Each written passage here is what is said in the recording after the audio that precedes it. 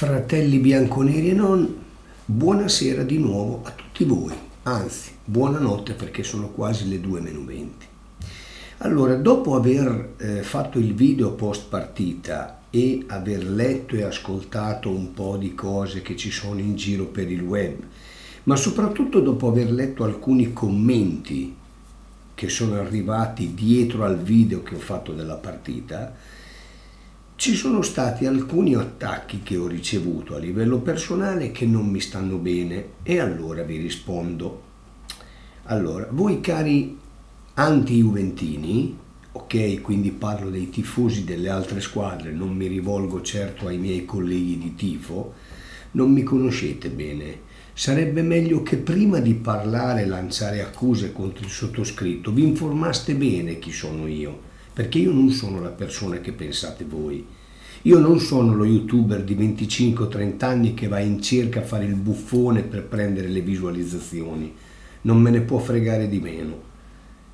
Quindi vi sia ben chiaro questo da subito e siccome che sono stato accusato di certe cose, sono stato accusato di essere uno che è un antisportivo e forse avete capito proprio male, mi avete accusato del fatto che io nei video arretrati ho detto cose che non vengono confermate dal video di stasera, allora adesso vi dico una cosa e ve la ripeto una volta per tutte. Allora, io sono un anti-interista col pedigree.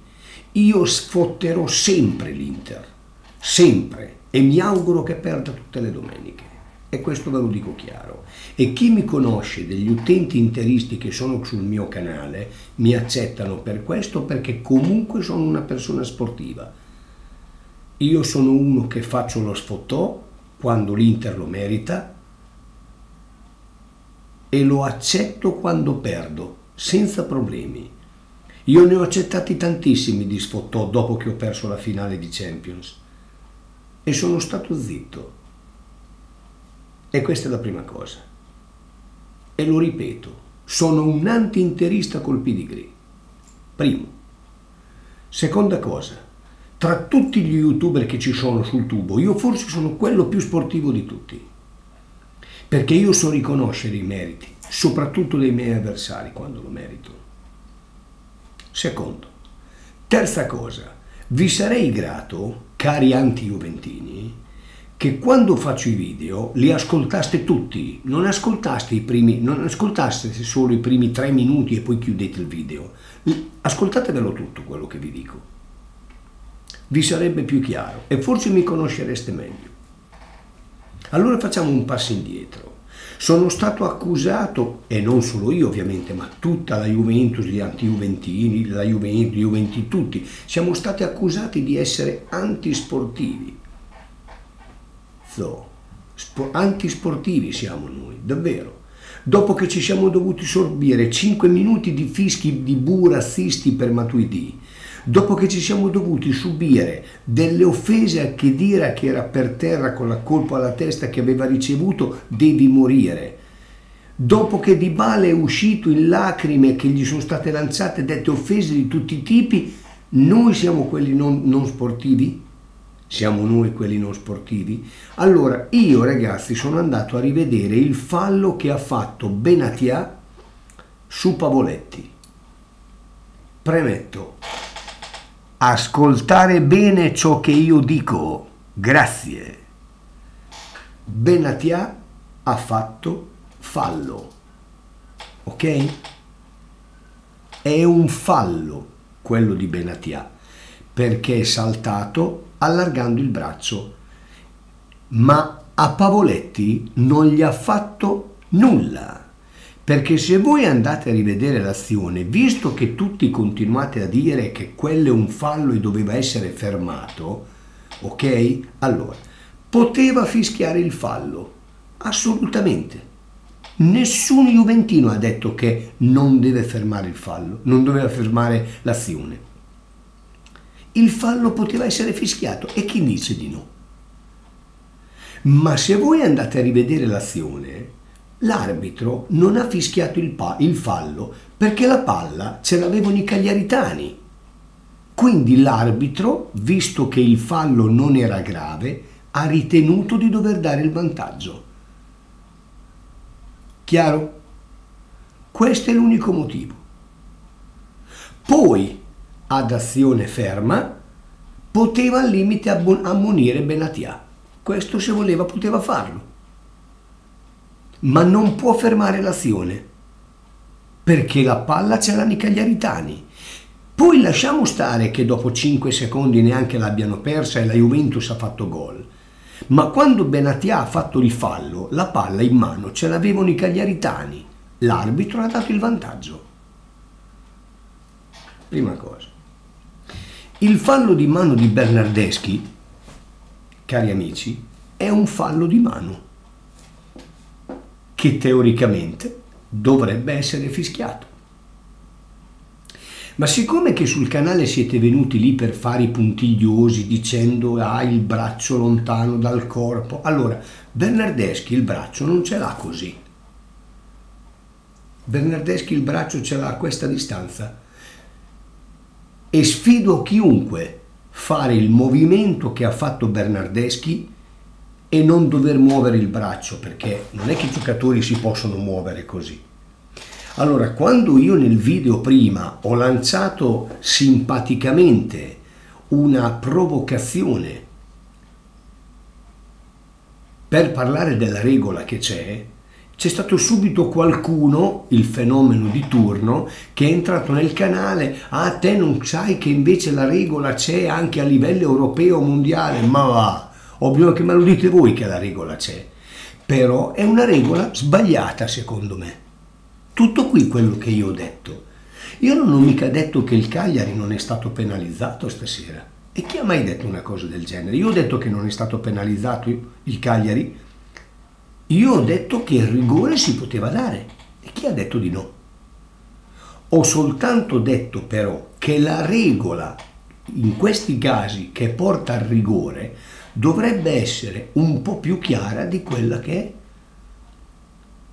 Allora, se tu vuoi lasciare la discrezione all'arbitro di decidere, devi accettare quello che l'arbitro decide senza far polemiche. Ma fra noi tifosi lo sfottò ci sta. Se non siete neanche capaci di accettare lo sfottò quando vi viene fatto, noi dalla Juventus è una vita che accettiamo gli sfottò su queste cose. A voi delle altre squadre vi fanno lo sfottò una volta e ve la prendete e vi arrabbiate? vuol dire che avete delle paglie lunghe, come ho scritto sul canale prima un utente, avete le code di paglia lunghe chilometri. E lo ripeto, il fallo di mano di Bernardeschi c'è e il fallo poteva tranquillamente essere fischiato. Chi ha detto di no? Ripeto, io ho detto che però la regola del fallo di mano dovrebbe essere più chiara perché secondo me non è giusta com'è.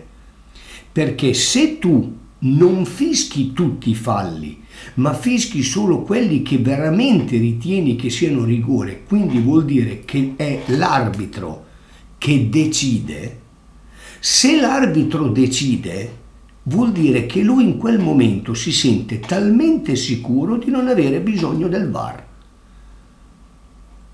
Tanto è vero che è stato detto che l'arbitro calvarese, quando ha parlato in cuffia ai signori del VAR, gli ha detto ho visto tutto io, non ho bisogno del VAR. Evidentemente avrà visto bene? Non lo so. Le immagini non sembra che abbia dimostrato di aver visto bene, perché vedendolo poi a velocità normale è un fallo da rigore. E chi dice di no, signori? Demon non ha mai detto che non è rigore. Io ho soltanto detto che c'è, ci sono certe cose della, re, della regola che secondo me non sono giuste. Ma quello che si prende non è che si prende ad esempio per colpevolizzare le squadre che ricevono favori, a parte il fatto che da quando c'è il VAR la Juventus è stata una di, ha, di, quelle che ha avuto più sfavori che favori, a parte quello, ma a me quello non me ne frega niente. Io non ho l'abitudine di parlare degli arbitri, a me nell'arbitraggio ne parlo per farmi quattro risate, a me non me ne frega niente. Io vado a vedere che nel complesso di questa partita, se il risultato doveva essere più giusto, per me il Cagliari non aveva demeritato e se avesse pareggiato non avrebbe rubato. Però ciò non toglie che nei primi 20 minuti il Cagliari ha visto i sorci verdi. La Juventus ha colpito due pali, che se fa due gol la partita dopo 20 minuti è finita. Voi queste cose invece non le vedete perché stasera c'è stato di mezzo il non VAR e state buttando su un polverone dandomi perfino a me del non, del non sportivo. A me mi venite a dire che non sono sportivo, io. È come, se, è come se offendeste mia madre a dirmi a me che non sono sportivo. Quindi non scherziamo. Ora, ripeto e ribadisco, se noi vogliamo parlare della regola del fallo di mano, il fallo di mano è se tu dai la scelta all'arbitro di giudicare, l'arbitro è quello che può anche decidere di non andare al VAR. Perché se lui in quel frangente si ritiene così stramaledettamente sicuro che di quello che ha visto ha visto bene, lui può decidere di non andare al VAR. E allora ecco perché Demon vi continua a dire che il VAR per il momento ha fatto più danni che cose giuste, per il momento. Poi adesso vedremo alla fine della stagione se gli errori si compensano, vedremo. Ma sinceramente io ad oggi non mi sento di parlare particolarmente bene di questo VAR. Speriamo che migliori.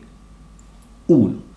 Riguardo, e voglio ancora ripeterlo, all'azione del fallo di mano, il fallo di mano è una cosa interpretativa. Non è fallo di mano se prima la palla tocca la gamba e poi tocca il braccio nonostante che cambi direzione. Non è fallo se tu ti giri di spalla ti giri così, sei magari che so in barriera, ti giri per colpire c'hai il braccio attaccato al corpo, colpisci il braccio qui, la palla va fuori dalla porta, non è rigore. Giusto? È così, no?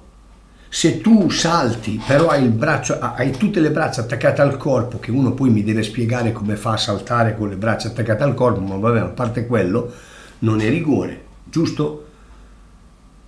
Sono soltanto calci di rigore, i falli di mano eclatanti. È giusto che è così? La regola dice questo, no? Questo, oppure volete obiettare anche questo? La regola dice questo. Allora, io l'altra settimana ho parlato del fallo di mano di merda, perché sono, quelli sono falli di mano. Quello di Bernardeschi è un fallo di mano, se ne può parlare, l'arbitro può tranquillamente dare il rigore. Non l'ha dato, va bene, pazienza, se ne parlerà, passerà, pensiamo alla domenica successiva, cosa dobbiamo fare?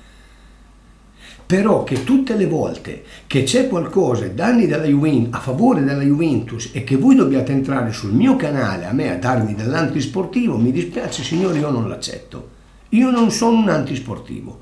E questo ci tengo particolarmente perché tutti gli utenti, soprattutto i primi mille, che sono con me praticamente dall'inizio, non i primi mille, scusate, i primi cento, mi conoscono bene come ragiono io.